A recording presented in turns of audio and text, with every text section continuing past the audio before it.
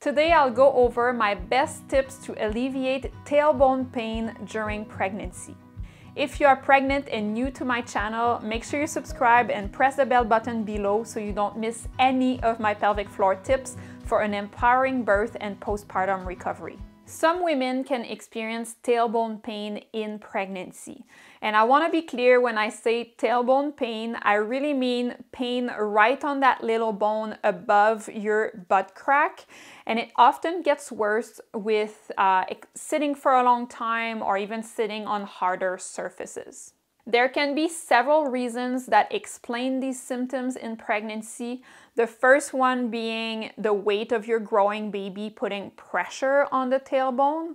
And in other cases, it is from that pelvic instability, you know, like the relaxin hormone um, that is present in your body when you're pregnant makes everything loose in your body. And sometimes that bone called the sacrum bone can become misaligned and off centered. And since your tailbone is at the end of your sacrum, sometimes it can just kind of sit funny and like be not right in the center. Tension in the pelvic floor muscles uh, can also cause tailbone pain because your pelvic floor is connected directly to your tailbone. I have noticed that my patients who experienced tailbone injuries in the past, even if it's years ago, are more likely to develop these symptoms. Uh, so I'm talking to you, horseback riders and snowboarders. Strategy number one is change position often. So, first, identify how much time you can sit without triggering your tailbone pain and try to change position before that time.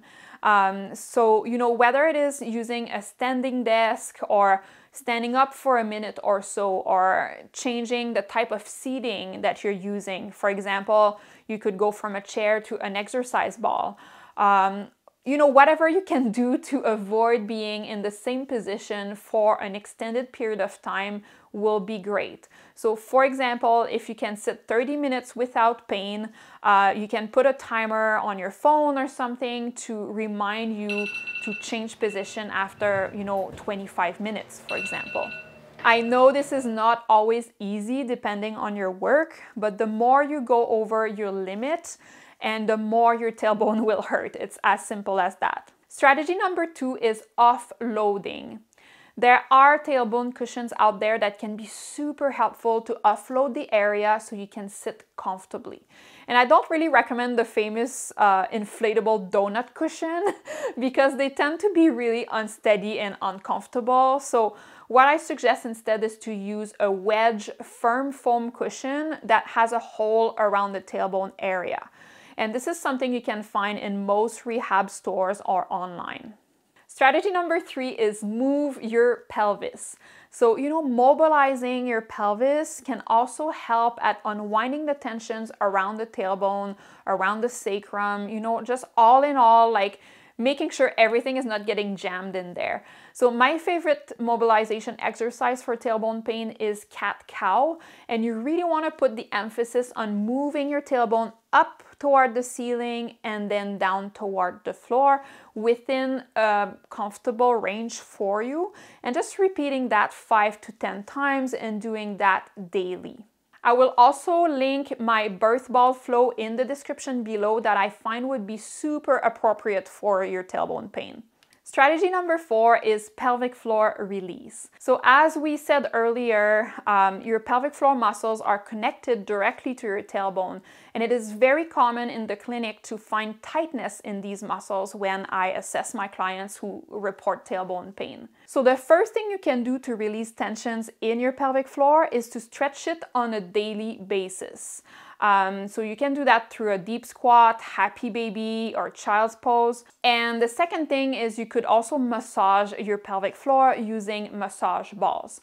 So I will link my videos to show you these techniques in the description below in case you want to try that.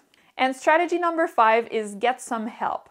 I know I keep repeating this over and over, but if you have tried the four first strategies and it's still not working, your best bet is to consult with a pelvic health physical therapist to assess your pelvic alignment and your pelvic floor. And if you don't have a pelvic health physiotherapist in your area, working with an experienced manual practitioner who can assess your alignment of your sacrum and pelvis, um, you know, it can be a general physiotherapist, an osteopath, or a chiropractor, for example, uh, would be also my suggestion. Now, before we leave, I just wanted to let you know that I'm hosting a free birth prep class on a regular basis to help prepare your pelvis and your pelvic floor for a positive birth experience. And that includes preparing your tailbone. Uh, so if you're into that, make sure you sign up in the description below and reserve your seat for my next class. I hope to see you there and thanks for watching.